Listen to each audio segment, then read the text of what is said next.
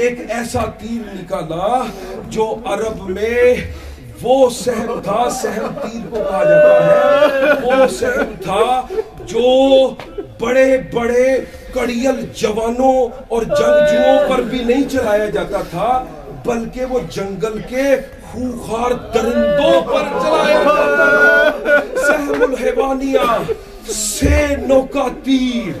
जब निकाला, ये सारा मंजर इमराउल के सरदार की बेटी सैयदा रुबाब अपने खेमे में देख रही है। खेमे के दर पे खड़े पर्दे से देख रही है कि हुरमला ने हुरमला ने वो तीर निकाला है जो अरब के वैशी जानवरों पर फेंका जाता था। अब असगर की तरफ़ देखा इमाम जो है, असगर को फौज अशकिया की तरफ़ दिए हुए असगर की तरफ़ देखा। एक दफ़ा असगर की गर्दन को देखा, फिर तीर को देखा और देखकर अब दुआ मांगी कि या अल्लाह, असगर की नज़रें मुझसे मिला दे। जब इमाम हुसैन ने असगर को, एक अपने इस मासूम कुरान को इसका रुख ख्याम की तरफ़ किया, असगर ने माँ की तरफ़ देखा, रुबाब ने कहा, असगर, तेरा इम्तिहान अकबर है। इस इम्तिहान में माँ को शर्मिंदा न करना। ने तीर का निशाना बनाया। इसने जो कमान का इंतखाब किया, वो सुन लो। जो कमान इस तीर के लिए, जिस कमान का इसने इंतखाब किया इसने इस कमान पे जो वज़न, इसके मिजान को कायम करने के लिए इसने मुकर्र किया, वो ढाई मन कोई भी कमान आप लें और उसका मिजान और उसकी कुवत को जारी रखने के लिए उसके नीचे धागा ऊपर बांधा जाता है और नीचे धागे के वज़न बांधा जाता है। और फिर फिर उसे दो बंदे उठाते हैं और उसको खींच कर उसका वज़न जो है वो कायम करते हैं। तो वो ढाई मन था। मसलन जो तीर चले तो वो इतनी कुवत के साथ जाए कि अगर उसका हदफ ढाई मन वजनी जवान भी हो तो वो उस तीर के साथ उड़ता हुआ चला जाता था। इससे शाह को इसने लिया और इस ढाई मन की कमान को इसने हदफ बनाया। हदफ बनाया। तो अब इसने ये देखा कि असगर जो है, उसके लब खुले हैं और इमाम उसे जो है, वो फौज अशकिया की तरफ़, कभी दाई तरफ़, कभी बाई तरफ़ ला रहे हैं, हुज्जत तमाम कर रहे हैं। उसने कहा, अपने नफ्स में ये सोचा जो उसने मुख्तार के दरबार में भी कहा था कि मैंने इस मकाम पर यह इरादा किया कि मैं इस बच्चे के साथ हुसैन के दिल पर वार करूँ कि जब ये बच्चा इस तरह से आए, इसकी गर्दन के साथ मैं इसके दिल पर वार करूँ। अब ये इसका इरादा था। वहाँ पर सैयदा रुबाब इसको देख रही थी। और वहाँ पर जब इसने निशाना लिया और जब तीर इसने फेंका और जो तीर सनसनाता हुआ पहुँचा, सैयदा ने खयाम से कहा, असगर, अगर तेरे बाबा को तीर लगा तो रुबाब दूध नहीं बख्शेगी। असगर ने गर्दन को बुलंद किया असगर की गर्दन से निकलता हुआ जा रहा था।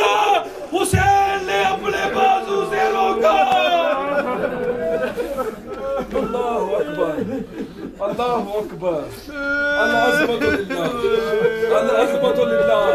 मौला तुम्हें किसी गम में न रुलाए मौला तुम्हें किसी गम में न रुलाए ये असगर की वो कुर्बानी है जिसके लिए सैयद सज्जाद ने सैयद सज्जाद ने मुख्तार ने जब तमाम अशकिया के सर भेजे और कहा मौला मैंने तमाम अशकिया को कत्ल कर दिया है तो सैयद सजाद ने पैगाम भेजा, मुख्तार फुरमला का क्या हुआ?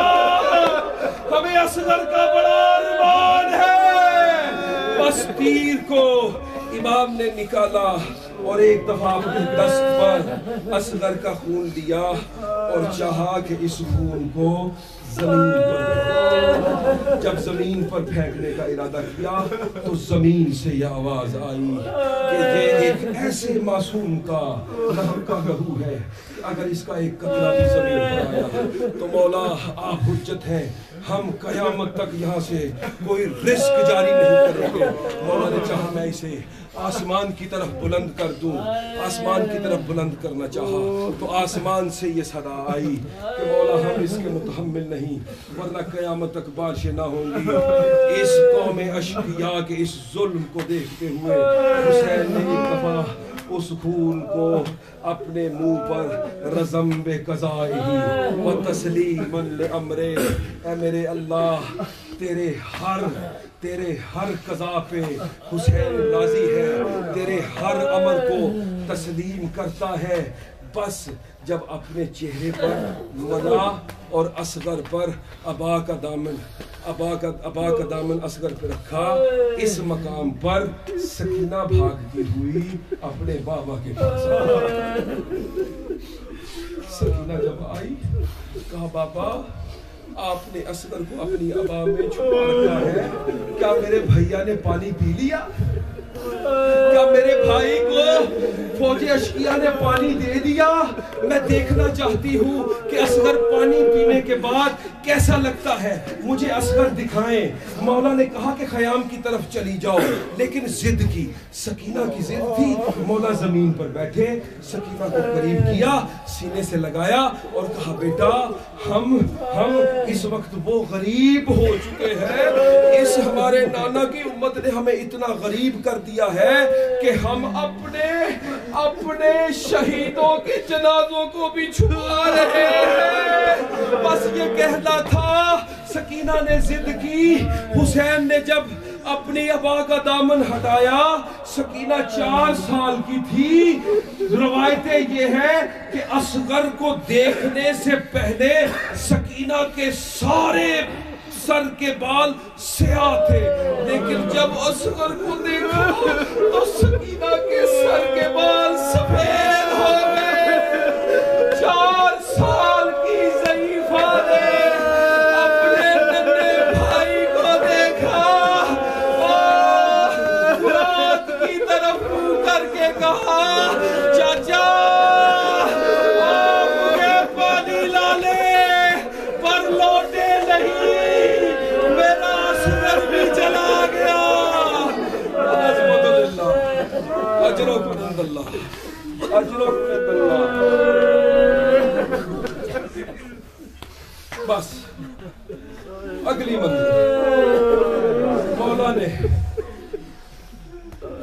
जुल्फकार को अपनी नयाम से निकाला और चाहा कि मैं असगर के इस लाश खयाम में न जुल्फकार नयाम से निकाल कर असगर को करबला की ज़मीन पे लिटाकर इमाम ने अपनी अबा से छुपा दिया। और जुल्फकार से करबला की ज़मीन पर कबर खोदना चाहिए जब इरादा किया तो जुल्फकार से आवाज़ मौला, मुझे अल्लाह ने नाजिल किया था, आपके दुश्मनों को फ़िलहाल करने तेरे शहजादों की कबर खोदने के अगर मुझसे आज कबर खुदी तो मैं कयामत तक खुद हो जाऊँगी।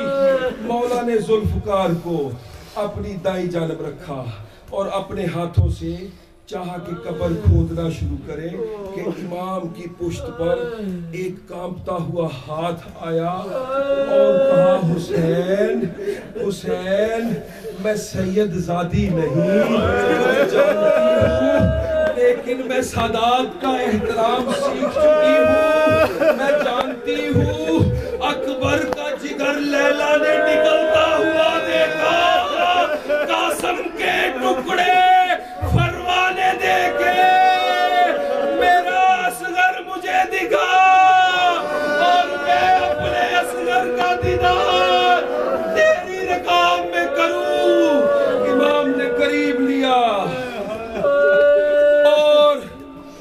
कबर को खोला।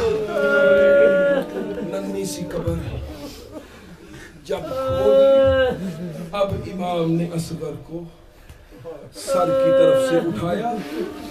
रुबाब ने कदमों की तरफ़ से उठाया और उठाकर कबर में रखा। और कबर में रखकर दोनों तरफ़ से मट्टी डालना चाहिए तो इमाम ने हाथ पकड़ लिया।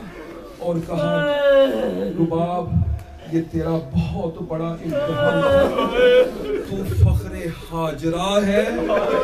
तेरा बड़ा मुकाम है रुबाब। मैं तुझसे राज़ी पर अगली जो मंजिल है इस पर मैं तुम्हें इज़्ज़त नहीं देता। खयाम में वापस पलट जाओ। रुबाब वापस पलट गई। इमाम ने असगर के कदमों पे मट्टी डाली। जानुओं पे डाली शिकम पे डाली, सीने पे डाली, जब चेहरे की तरफ़ आए तो अब्बास की तरफ़ रुख करके हुसैन ने पट्टी डाली।